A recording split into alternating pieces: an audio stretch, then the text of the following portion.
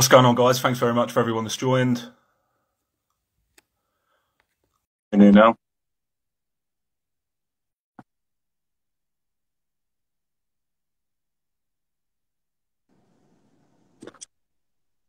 Chris, what's going on, buddy? You good?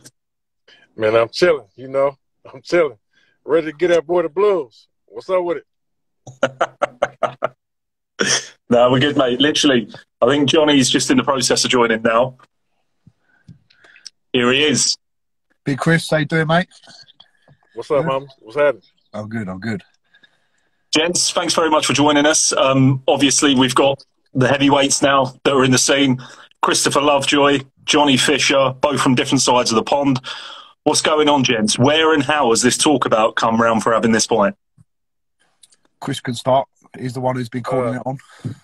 Yeah, I start. Uh, basically, um, I know Sam Jones, uh, S Jam, and all that, and uh, he threw um, he threw his name out there. I'm like, let's get it. Nothing to talk about. Let's get it. So, uh, is he available? I'm available. Let's get it. That's I'm available. I'm very available. I'm very available, Chris. So, whenever you want to come over here, as I said, I'll take you for a nice steak and our pie after the fight. But listen, I'm ready. I'm ready to go whenever you are. Yeah, yeah, we're ready. So basically, um, after my fight, I got suspended until the end of next month, which is the end of this month, June 29th. So I can't have a fight until the first of July. I believe the fight camp is uh July 31st, that date. Yeah. And that's what we that, that's what we're doing. Uh, I'm I'm coming to shut it down, man. You know, uh, no disrespect to them and all that, what they got going on, but uh, it's game time over here, man. Show's over time. with. I'm always ready. Whenever you, whenever you're ready, come over because I'm waiting. I'm training hard and I'm ready to go. all right, we're gonna see. We're gonna see. Chris, uh, have you had any contact with anybody from Matchroom or DAZN uh, in terms of an upcoming fight? No, not DAZN. Uh, I messaged Eddie Hearn about it. Uh, he read it. He didn't hit me back yet. So, you know, I think today's his birthday or something like that. So we're gonna see. Like I say, when it's actually when I talk to the matchmaker, uh, and they get ready to put an actual fight together, because I think they got two different dates. They don't know which one they want to put me on yet. And uh, when they figure out what date they're gonna put Johnny on, I'm on my way. That's it. I'm gonna come out. I'm gonna come out there anyway, like a, like like like 30 days before that fight anyway, just to stay out there. For a holiday. Yeah, I'm gonna come out there anyway. Yeah. I'm gonna hit all the gyms. I'm gonna beat That's up all it. the heavyweights out there. I'm gonna hit all them gyms out there. They've been they, have been talking. I'm gonna beat all them heavyweights up. So, Johnny, in terms of this fight and potentially, well, uh, as we say, potentially this fight coming up, what what are your current thoughts on this fight? Is this a fight that you're happy to take tomorrow? Yeah, definitely. I, trust my manager Sam Jones and Eddie Hearn. They've they've been talking about it. Eddie was talking about it on an IFL TV interview, and my manager put it towards me, Sam. And listen, these are the sort of tests you're going to take in the heavyweight division, and I'm ready to go. I've had two, I've had two fights already, and listen, it's a step up. I've got big respect for Christopher. He's obviously built up a good record, and it'll be a good name to, to fight in your third fight. So I'm ready to go. It's, it's a great test. And I suppose, Chris, you know, where we are at the moment, you're both completely at different stages of your career. And I think that's a fair statement to make. You, you know, Johnny, you're 21. Chris, I think, are you 37 now? or 37, yeah. So, so, you're 37 now. So we're at this process. Who, who is this fight more dangerous for the individual to take? It's dangerous for him. Uh, he ain't never fought nobody like me. He got two fights. I mean, no disrespect. You know, he looked like he he getting ready, but he ain't ready for me. You know, I just came off a, a world title shot. You know, I got 19, 20 pro fights. Uh, he ain't really been tested yet, man. You know, I'm, gonna shut that whole thing down. You know, they think they got an easy win. You know, I don't know if you saw my Instagram post, but I set this whole thing up. You know, I set it all up. You know, I padded my record just to get to this point right here. You know, and they probably looking at he was 306 pounds, and I'm not 300 pounds no more. You know, so they think they got an easy win. You know, and they're like, let's get him over here. He look nice record, and uh, it's gonna be like night and day when they see me, man. But Chris, Chris, there's one thing. You said it's an easy fight and it's going to be a hard fight for me. Every heavyweight fight is a hard fight, and every heavyweight heavyweight fight can end at any point. So we both got to be ready. And I take every fight very, very seriously. So I'll be prepared for this one. Don't you better take it serious. You better take it serious. I will. Don't worry about that, mate. I'm training every day. Chris, what, what are your thoughts on what you've seen in Johnny, uh, uh, and why do you think this is a fight that's so easy for you to take? Um, well, it's an easy fight for me to take because I fight anybody. I mean, it's only gonna be probably like a six or eight round fight. Uh, he ain't really showed me nothing. You know, I mean, he looked good. You know, he got two wins against you know those people he fought look worse than people I fought. So I mean, like I say, it's just uh, I'm like old enough to be his father. You know what I'm saying? So I'm a sonny. I'm a son him. What are your honest thoughts on Chris and what you've seen from him boxing? I, am sure you know there was a lot of people that tuned in last time when he was out against Manuel Charr. Is there anything realistically you can take from that performance, or, or, did that show you anything that you actually thought you know the hype surrounding this man isn't real? Listen, I've seen I've seen little clips of, of Chris fighting, and obviously to fight Manuel Charr, who's, fought the likes of Alexander Povetkin, he's been at the top of the game. So losing to Manuel Charr is no disgrace. Big respect to Chris Lovejoy for getting in there and fighting him, but I've not really seen any of his knockouts. I've not seen what he's like, but I've heard a few things, and my trainer's happy with it, my manager's happy with it, and most importantly, I'm happy with it, and I'm ready to go whenever, as I said. So big respect to Chris, but he's going to have a bit of a shock when um when he comes over to the United Kingdom. How far away are we from getting this fight made? We close. I mean, like I say, as soon as they figure out the fight date, uh, they'll send me over contract. I'm not even going to negotiate the number uh, the price, the purse, whatever, they're probably gonna offer me ten percent of what I just fought for, which is not a problem. I'm not taking this fight for no money. I don't need the money. Uh, I'm going first class flights and everything. I'm gonna pay spend probably half that on just me staying out there for a whole month. Uh, so this is just for my legacy. You know, this ain't about the money. You know, I'm gonna use him and his management and his promotion as a stepping stone for me. Yeah. You know, I ain't got nothing to lose. I'm you're gonna, to you're gonna, you're going to turn me into a T-bone, aren't you? You're going to turn me into a T-bone steak. Yeah, yeah, we'll get a T-bone, man. We'll get a T-bone. T-bone. Oh. That's my favorite steak, by the way. T-bone. We'll get steak. one. You can have a steak pie. You can have a T-bone. It's up to you. Whatever you want. Yeah, T-bone. That's the best one. We'll get that's that. I'll get one. you a nice T-bone. That'd be nice. Let's do it. Let's do it. Yeah. Chris, listening to some of the comments that you made earlier, then are you saying that against Manuel Charr that basically you, you padded that fight and that was all for a dramatisation act to to get this fight next time out? No, no, no, no, no, no, no, no, no, no, no. I didn't. It wasn't dramatized. No, no. I'm, I'm saying me staging my whole my whole career to give me a one shot. The fight with Manuel Charr, I mean, I just had to take that fight. I wasn't prepared. I didn't do a camp. You know, dealing with everything I've been through over the last eight months. I was in a position where I just needed to make the money and needed to get back in the ring. Win, lose, or draw, I won. I came out on top, no matter what the outcome of, of the judges were or whatever happened. Uh, you know, like I say, shout out Manuel Charr. He gave me opportunity to change my life. You know, he won by knockout. I can't take nothing away from him. But as far as me concerned, I wasn't prepared for the fight. I wasn't nowhere near prepared for the fight. Weighed in 306 pounds, no camp, no nothing, no trainer. Came over by myself. You know, uh, you know, like I say, he got he, he come with a couple shots. You know, I'm saying, hurt my shoulder. But I'm not here to make excuses. He won the fight, and uh, I'm moving forward. So, uh, like I said, when I say I set this whole thing up, I set this whole thing up, meaning that I scheduled my whole all my 19 wins, so people can go look at my opponent and say, "Oh, he hasn't fought anybody. Maybe he can't fight." And I put a bad performance on my last fight. So you got people saying, "Well, shit, let's get him over here. He he probably really can't fight," and that's what I wanted to do. Because if they knew I was gonna come over there and beat up Johnny Fisher, they wouldn't even call me. You know, they, they they're not gonna call me, but they think they got an easy win. That's just what it is. If I had a fighter and I'm promoting him and I'm managing him and I want him to get to the top, I'm not gonna put him in there so I'm gonna kill him on his third fight. There's no they such think thing. they got an easy win. There's no and such thing as an easy win. There's no such thing. That's what that, that's what they think. That's what I don't think. think all that matters is what I think, and I don't think I've got an easy well, you win. might know you might know the truth, and that's what's gonna hurt you. Your all I know is all, all, I know is my right and my left hands are like hammers, and when you feel them, they're gonna they're gonna feel strong. But I know you can punch yeah, as well. See. You've got 19 knockouts on your on your record, so I've got to be careful as well. I've got big respect for you, Chris. But listen, when it gets to that yeah. down to it, we're gonna have to both go for it and go to war. So that's the that's the bottom line. We're going to war, boy. You better be ready. I'm ready. You better be ready. I'm ready. I'm ready every day. This ain't this ain't no game. This ain't the last people you fought. They, I'm not gonna just stand there, standing there, and hold my hands over my face. I'm coming to knock something out, bro. So good, uh, good. Y'all better get together. It's, it's, I like someone who comes with. forward. That's good. That's good. It'll be entertaining.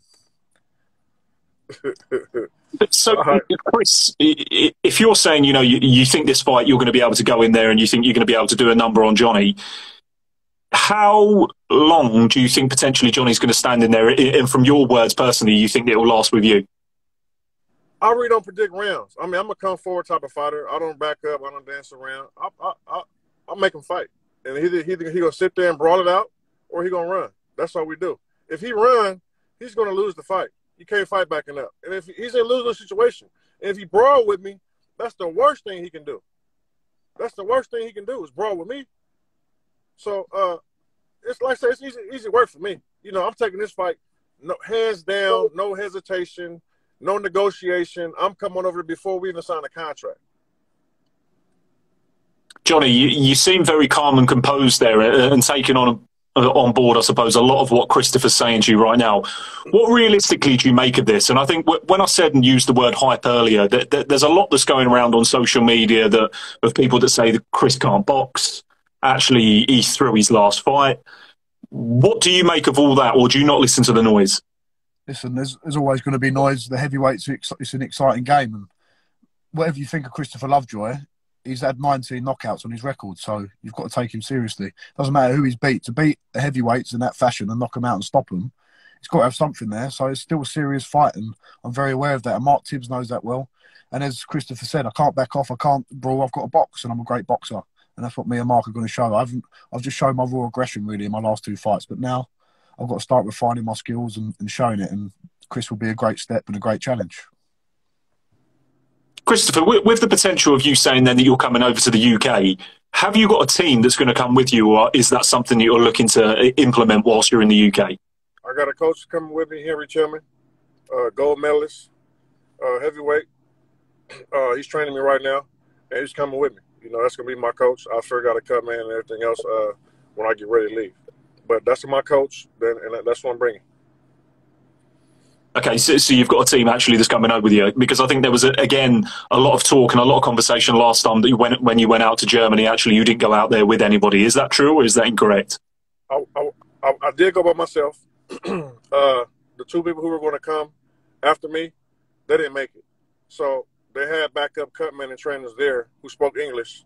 I was a select from. So uh, yeah, my, my team didn't make it. Uh, I came by myself at first. At first, it was a lot of hype behind. It. I'm coming by myself because I obviously had to be there a while before my team got there, just for the isolation thing, whatever they were doing. And uh, they were going to come late, but they didn't even make it. So I mean, I wasn't backing out the fight. Uh, it is what it is. You know, they can't fight for me. Uh, you know, I had to do what I had to do. I, I actually saved more money by not paying out. You know, for the trainer to come out. So, so, at the moment, uh, as well, with coming over to the UK, if you can't get that finance initially, is this something that you're going to have to pay out your own pocket? Can't get what finance? So, in terms of a fight that's coming up, if you're not able to get that fight initially prior to coming over to the UK, is this something you're going to have to pay for yourself? No, no, no, no, no, no. Everything is going to be paid for. That's just how I go. I'm just saying, I'm coming out there before the fight is even okay. finalized. I'm coming out there anyway and pay out of my own pocket. And then we finalize you know, they could just put that extra money back on my purse for my flight because I'll already be there. Whatever happens, if we don't if we don't get the fight, you said we're still going out for some food. You can have a T-bone steak, and we can have a oh for sure, for sure. I'm for sure. coming out. Listen, I'm coming out there. We'll go and party. We'll go and party in uh, in Essex. We'll show him around Essex. We'll take him to Sheesh. Let's do it. How far is that from London? Not far at all, mate. Well, listen, we'll show you around. You're a good man. We'll take you out and we'll show right. you. We'll, yeah, we'll yeah, treat yeah, you as a good guest. You're a guest in England, so we'll treat you. We'll treat you well. Mando, Mando. Like I said, I'm coming out there regardless. You know what I'm saying? Uh, hopefully this fight be finalized, you know what I'm saying, by the end of this month. And uh I already be out there training, adjust to the time and all that stuff and the food and everything. Yeah. And uh, you know, I'm gonna go hit some gyms, you know. I'm gonna get some work in with them heavyweights been, been doing that them, them, get talking they've been doing. So uh, let's move on. Predictions at the end of the fight, it, potentially again, if this does take place, whose hand's going to be raised and what's the method of victory? Knockout knockout. Johnny? Listen, I only know one way, and that's to come forward and we we we we're working on making. You asked him a question, and he didn't answer you. You want me to answer? Already. Are you going to let me answer? Already. Excuse let me finish. There's only one way I really know, and that's to be aggressive and come forward. That's why I'm the Romford Bull. But listen, I've got great boxing skills as well. And it might take one, two, three, four rounds. It might take six, seven rounds. It might take eight rounds. But whatever's going to happen, I'm going to give it my best and that victory will be mine. I ain't gonna get a kid. you, you must make me laugh. It's just I do like you, You're, you're a funny guy. but you know, hey, listen, man. Uh, no, no, matter what happens, you fought a eight-time WA ranked fighter, a world title challenger. You know what I'm saying? A guy came in and you stepped it up. So no matter what happens, you're a hero in my eyes. You know what I'm saying? And maybe I'll, I'll bring you in my camp for my next fight. Maybe. But listen, forget all that. I've got big respect for you anyway. Whatever you're going to say, I don't care what you're going to say because any man who gets in the ring deserves some respect. So Christopher right. Lovejoy deserves all the respect in the world. Whatever he says, whatever he does, he's doing he's doing a good thing. He's getting the hype up. He, he does his thing and big respect to him. But when it gets to that ring, when it gets to that fight, it's on. What, what do you make, Johnny, I suppose, of some of his comments? You know, he's saying he's old enough to be your dad.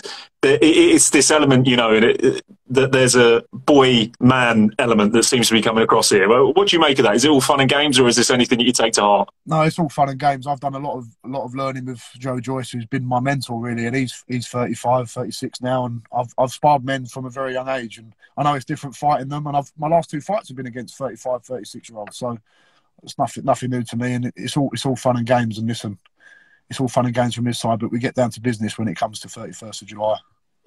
Yeah, let me just say something. George George don't really want no smoke, so he ain't the one to bring up. You know, he don't he don't really want no smoke. You know, he know me very well. You know, I've been yeah. calling him out for three years. You know, he done turned it down multiple times. Yeah, he don't I really think, want yeah. no smoke at all. He doesn't know. No, yeah, I, I, think I think Joe Joyce is going on to a bit bigger things than me and you at the minute. Mm-hmm. Chris, it, I suppose there's an element of, of the, you know, realistically, the boxing world is still waiting to be seen what's coming next. Obviously, there's been so many stories, there's been so many press reports, we've seen loss, but actually, all everybody has seen so far is that last fight against Manuel Charr. Do you think that everybody's expecting you to come in uh, and fall at the immediate first hurdle? And is there an element that you want to prove to people you, are something different? I mean, it's the element of surprise. Uh, they can think what they want to think. Uh, I want them to think that because that's gonna be more money. I, I hope he the favorite. Because let, let me tell you what happened. I bet ten thousand on myself against Manuel Charr. I lost. I was trying to come home with a quarter million. So if he's the favorite, I'm gonna bet the house on myself. You know what I'm saying? So uh, that's just like I said, they can think what they want to think. It don't even matter no more. You know, they ain't got no film. They don't know what I'm looking like. They don't know what I'm doing in the gym. They don't know nothing. So that's on them. Right, gents. Well, I think before we sit here and we go backwards and forwards all, all night, let's have a last bit of a conversation before we decide to call it again that night. Christopher, last words from you. Uh, thanks for having me. Uh, hopefully this thing go through. Uh, for my little fans I do got, just be patient with me. I'm knocking this boy out cold. And for my haters, come say what y'all want to say. I love y'all. I got more haters than supporters. So, you know, I'm gonna see y'all soon. We're gonna cook the bull and make a T-bone. T-bone. We're gonna make it. You get a lot of T-bones out of me. You can get about thirty yeah, or forty man, T-bones. Get let's you get, get Johnny, Johnny, last words on a level, mate. Yeah, listen, Christopher Lovejoy. What a character. What a man. And listen, it's a great. It's a great fight for my third fight.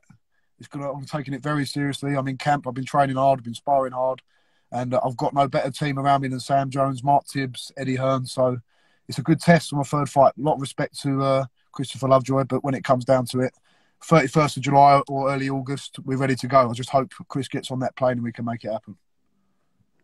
Oh, I'll be there. That's one thing I'm pulling up for sure. We ain't got to worry about Essex. that. coming to you Essex. Just make sure you out. don't get COVID. Don't catch no no little BS. Don't get no injuries or stomach ache no. and none of that. Because I'm gonna be there. We'll go out to we'll go out in Romford afterwards as well. We'll go to the Goose in Romford. We'll have a good night. What? It's called the Goose Pub in Romford. Do you want to fancy a, a, glass of glass of Guinness or something? A pint of Guinness. We'll get you. Oh, we'll check it out. We'll check it out. Good man. Good man. Right, gents. I'm going to bring this to a cease here. Definitely fans, uh, you know, there, there, was a lot of people that were interested actually when we said we were doing this tonight. Quite a few people, as you can see. I think at the height of it, there was nearly 300 that tuned in. So uh, I'm extremely grateful for everybody that's given us their time this evening and you two guys, obviously. Um, fantastic to sit here and be a part of it. And definitely, it's a fight that I'd look forward uh, as a fan myself to see. So thank you ever so much, gents. Thanks very much. Let, see you soon, it, bro. Tap in. See y'all soon. See you soon, mate. See you in the rabbits. Bye. Let's, let's get it. See you later.